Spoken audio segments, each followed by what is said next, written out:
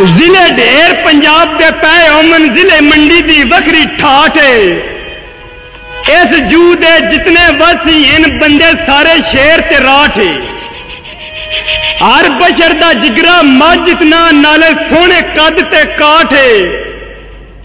ਇੱਕ ਦੂਜੇ ਦੇ ਨਜ਼ਰ ਇੰਜ ਲੱਗਦੇ ਨੇ ਜਿਵੇਂ ਬੋਇਆ ਕਾਣ ਚੁਕਾਠ